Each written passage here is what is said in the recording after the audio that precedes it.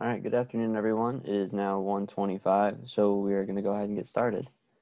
Um, the first problem we are going to be doing today is 4-12. So let me share my screen here. All right, so the first problem reads, the two small spheres, each of mass m and their connecting rod of negligible mass, are rotating about their mass center g with an angular velocity omega. The same instant, the mass center has a velocity v in the x direction. Determine the angular momentum HO of the assembly at the instant when g has coordinates of x and y. All right, um, so we're going to be looking for HO. That is the number one thing we're to be paying attention to and at instant when g has coordinates of x and y. So g is the center of gravity of the um, system right here. Um, and when it has the coordinates x and y. So this is basically at any time. Um, so we are just going to be looking for an expression of HO. All right, so um, angular momentum is based on the velocity and um, it looks like we're going to have to find the velocity of these two different balls um, spinning at this angular velocity here, and also of the system G, since it has a velocity itself in the x direction. Um, so let's go ahead and get started with, we'll call this one A,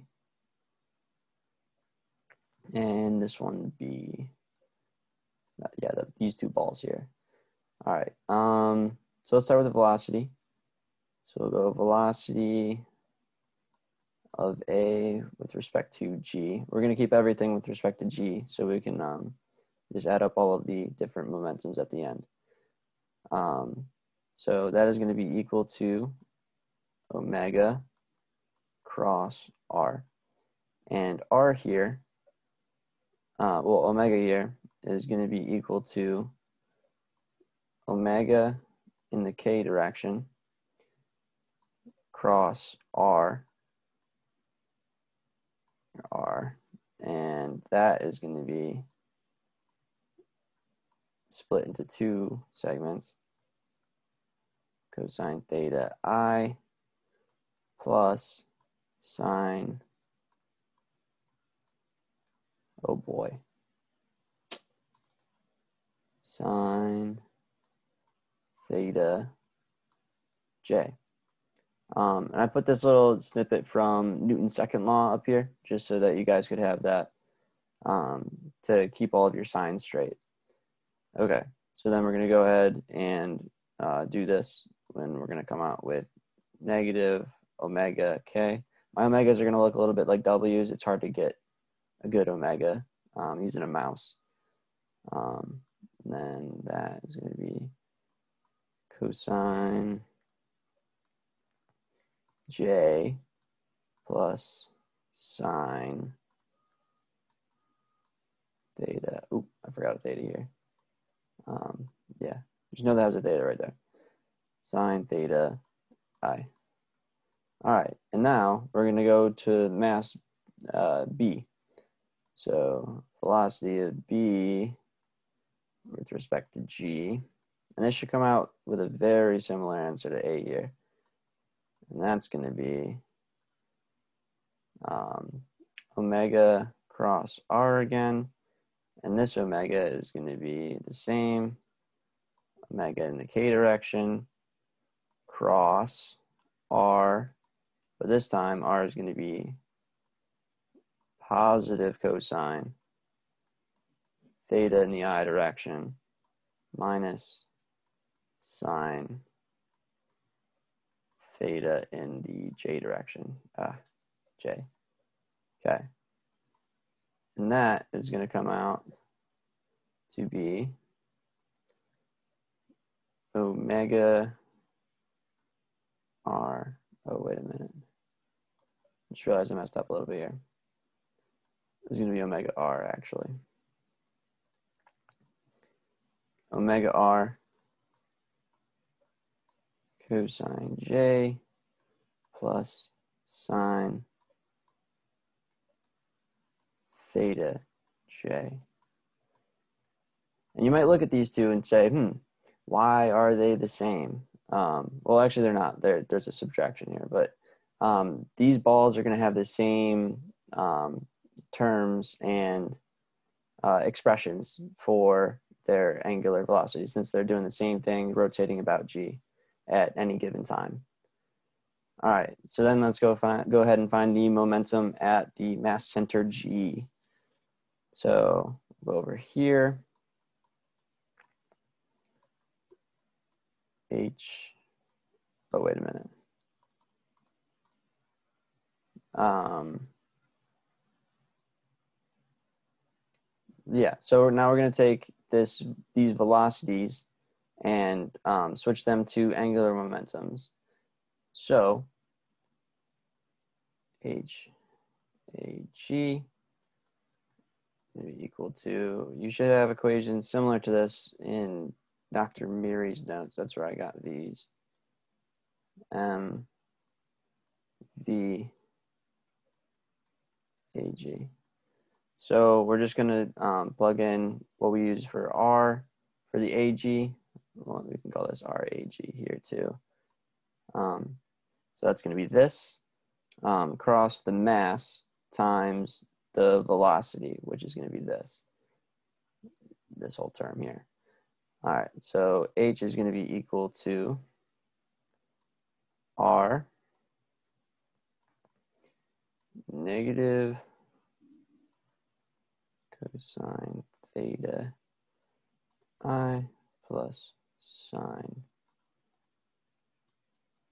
theta j cross negative m w r cosine.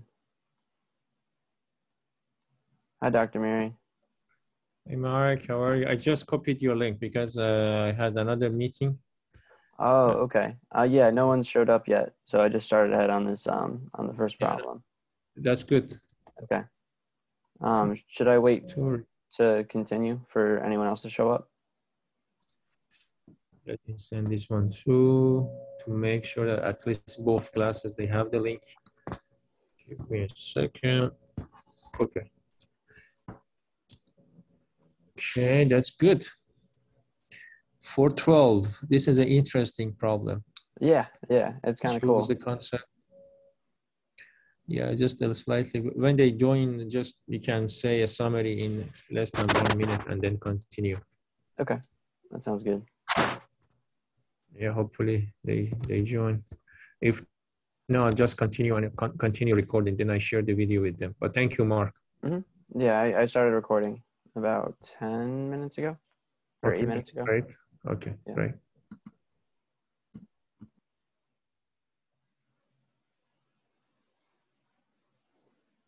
Oh, you just left. All right. Um, I'm going to wait two minutes.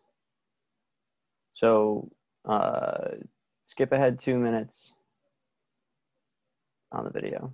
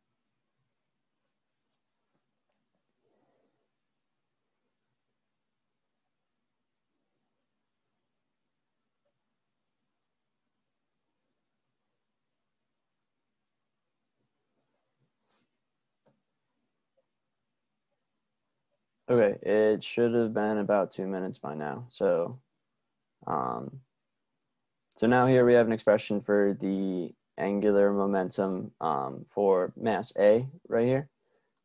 Um, and let me move this out of the way. And we're just gonna move this up, keep that. Um, yeah, just making some room for this next little part here. Keep that. Okay. All right, so now we have uh, this expression for mass A, and I'm going to continue and write the expression for mass B now.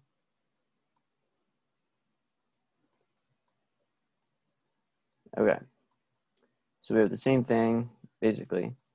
So we're going to be the radius of B with respect to G cross M times the velocity of B with respect to G. Okay, and that is all going to equal to R times the cosine theta I. Um, and back at the beginning, I said we were going to need to have a velocity um, of G, but that is, hey Zach, how's it going? Um, I am, uh, you're the first person to join, so I'll just give you a rundown of the problem I'm doing right now. Um, so basically, we're looking for the um, angular momentum um, of h with respect to g. So that's going to be this uh, gravitational point here, or not gravitational, um, just like the center of mass point here of this system, and it looks like it's spinning. So this mass be labeled A is going down at omega. I don't know if you can see this omega right here, but um, it's spinning at omega, and so is B. Um, so we made velocity vectors using Newton's second law. Um, and then now we are doing the angular momentums of each of A and B. Um, and this whole system is moving at a velocity v in the x direction. And we are going to be um, looking for an expression since it only asks for h at coordinates x and y. So it's just a general expression. All right, um, so I'm going to continue on. I'm going to put this up on YouTube later so you can watch it. Um, I'm going to continue on with this expression. All right, then it's going to be minus sine theta in the j direction cross m omega r times the cosine theta in the j direction plus sine theta in the i direction. Okay, so that's a big one, but then that can be simplified just like this one was simplified to simply m omega r squared k. So now you can tell that both mass A and B um, have the same rotational uh, angular momentum. Um, so now I'm going to get rid of some of this stuff.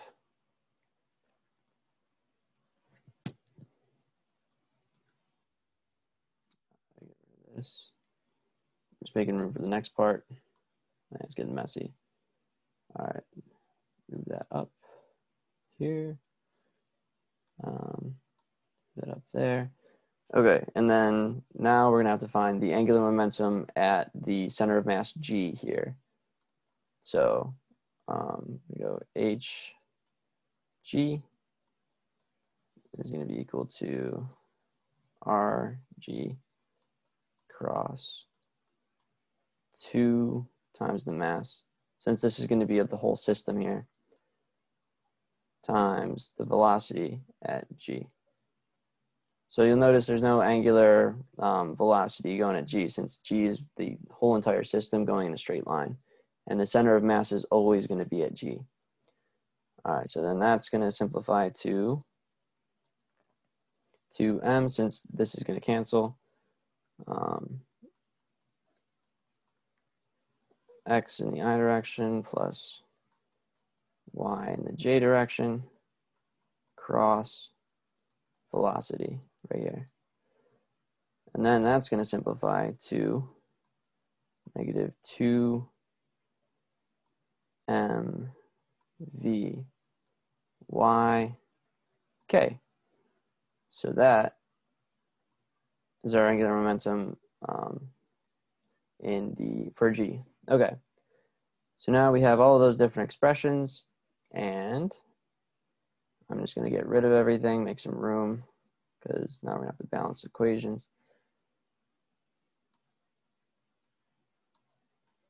Okay. Um, does anyone have any, shoot, I shouldn't have deleted. Okay, does anyone have any questions on this so far? Is there more than one person in here? Oh, yeah. Hi, Colin. How's it going? Um, Hey, hey, so basically we just did 412. Um, I'm going to put this up on YouTube later. So uh, Dr. Mia will send you a link about it. But basically we just found the velocities um, since we're looking for the momentum of the whole system. Um, and then from these velocities, we found the momentum of each ball, and then we just found the momentum of G here. Um, and now we're going to use all those three parts to find the momentum of the system.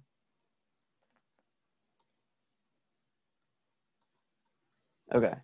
Um, so if you remember, momentum is conserved. So the momentum at O should be, O is the center of mass, um, should be all of these added together. H, that's a good H. Um, A with respect to G plus H, B with respect to G. All right, I'll throw that in a little comma there. Um, so these two are going to be the same. So it's going to be two times whatever um, these were.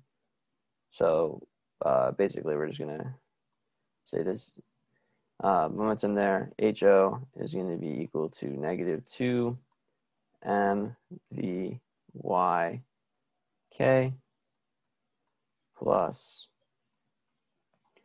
2 times m omega r squared K. Okay. Um, so then HO, this can all be simplified. You can take out the M, you can take out, actually that's it. You can only take out the M. Um, so it's gonna be negative two M. Actually, no, we can take out that negative two. Um, we'll just swap it. So two M times omega R squared minus Vy times k. And yeah, so we, we're going to put k at the end just because we're showing that it's going in the k direction. So that should be your final answer for 4-12. Um, I know both of you guys joined in late, but if either of you have any questions about um, any of the last parts I did, I'll give you a minute to think of them or ask them before I move on to the next one.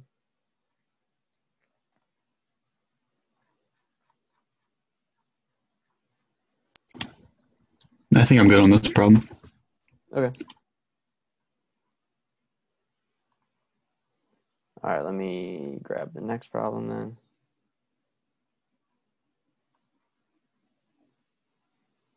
All right. Um, no one has any questions, then we will just move on. All right, so our next problem is 4-19. Let's go over a little bit. All right, um, so this one's kind of cool. It goes, um, the man of mass M1 and the woman of mass M2 are standing on opposite ends of the platform of mass MO. So there's three moving parts in this. Um, an MO moves with negligible friction and it is initially at rest with S equals zero. So the position is at zero. The man and woman begin to approach each other. Derive an expression for the displacement S of the platform when the two meet in terms of the displacement X1 of the man relative to the platform. Okay, so they give us all these variables here. Um, the total length is L. So yeah, they label everything really well here. So we're just gonna go ahead and get started. Okay. Um, so to derive an expression, we're gonna need to find the initial angular momentum since they give us two different um, scenarios here.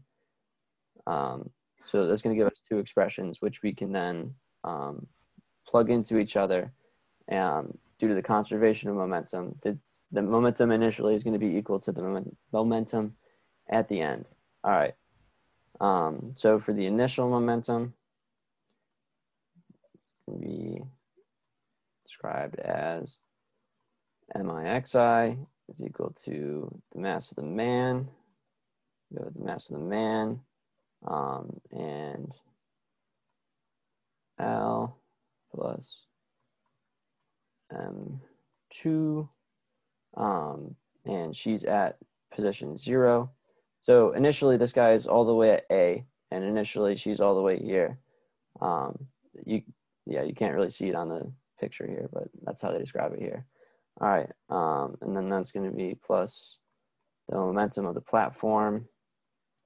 And since the center of the mass of the platform is going to be L over 2. Okay, so that is our initial momentum equation.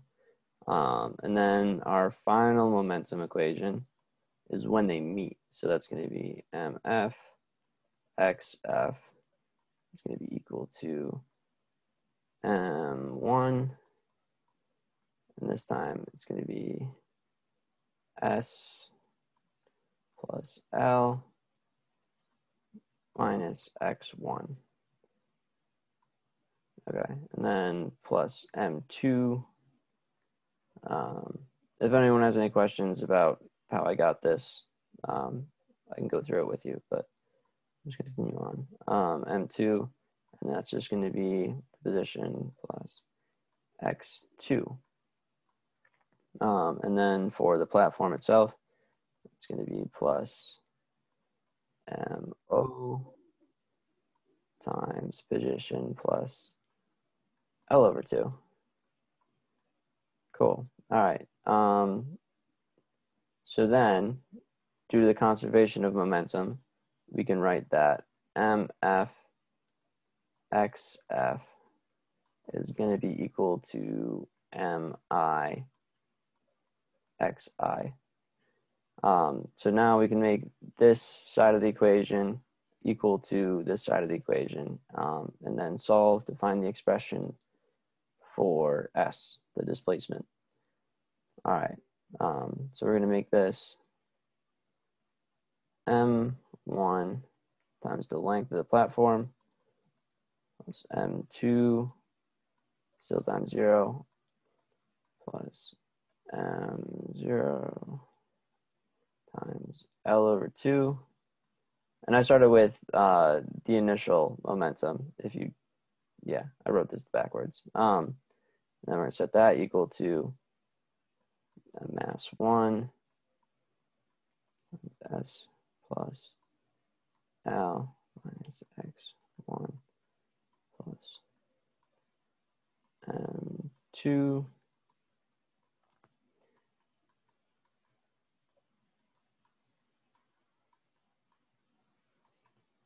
Mm-hmm.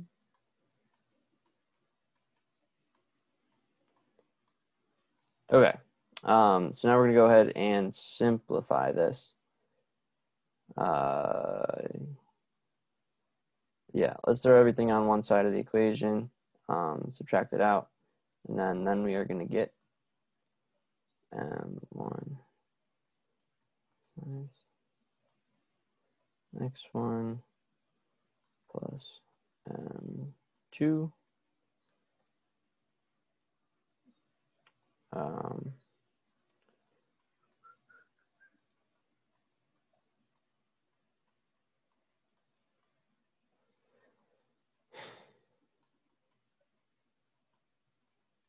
okay, and then we're going to redistribute um, so we can get M1 plus M2 see how we have them all here, um, plus MO, and we're going to move all of the S, since that's what we're trying to find the expression for. We're going to move all of these M1 times S, M2 times S, and MO times S to the left side of the equation, um, where we multiply them all by S. And then that's going to leave us with these X1s and X2s over here. Um, so that's going to give us M1, X1 minus M2, X2. Okay, and then we can just divide um, this whole thing by M1 plus M2 plus MO, which is going to give us S equals this. I'm just going to grab that. I'm tired of writing.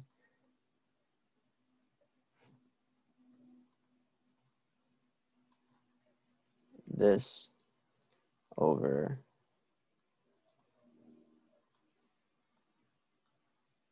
M1 plus M2 plus MO. Um, okay, so we could be done here now that we have an expression for S, um, but there is a way to further simplify this. And I'm just going to get rid of all of this. Um, does anyone need time to copy this?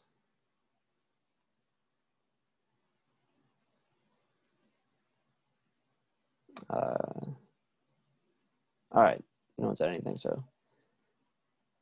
This up, this up here. All right, so now we have this equation, um, but when at the uh, the final momentum, when these two meet, um, that's the final thing they tell us here, um, we can conclude that this x1 here plus this x2 here are going to equal the total length of the platform.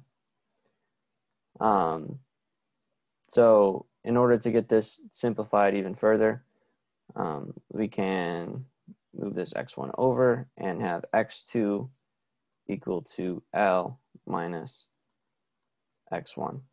So let me go ahead and plug this into the equation. Have S equal to M x1 minus M2 um, multiplied by the total length minus x1. So we just plug that in there. All divided by m1 plus m2 plus mo. Um, which we can further simplify by taking out this m1, m2, since now this m2 is multiplied by x1 also. Um, so then we can write it is equal to m1 plus m2 times x1 minus m2l. And that is still all divided by mass 1 plus mass 2 plus the mass of the platform. And that is all going to be equal to the final displacement. So again, um, you could have ended uh, up here, but um, the answer that they gave me in the book had this expression. So I got here and I was like, huh, like what's, what's going on with that? Again, this is a right answer. This is a right answer. Um, but in the back of the book, they wanted this for some reason. Um, so we just had to do a little bit of like variable manipulation, had to figure out what they were looking for. Um, x1 plus x2 equals L is, I don't know. I, yeah. Does anyone have any questions on this?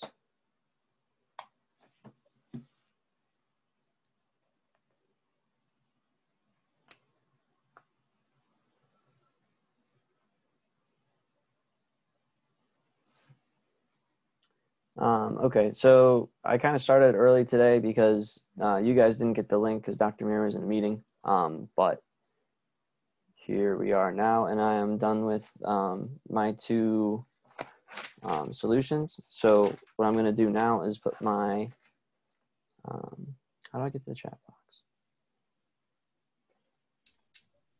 All right, I'm going to stop sharing real quick. Okay. Chat, there it is. Okay, so um, I'm going to put in my student email. And if anyone has any questions on the homework, uh, please don't hesitate to ask me. Uh, I'll help you out. I know they're due, I think, Wednesday nights.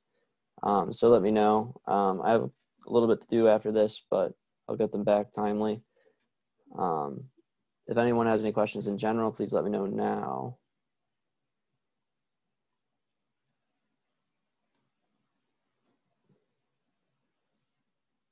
Okay, um, I'm gonna stop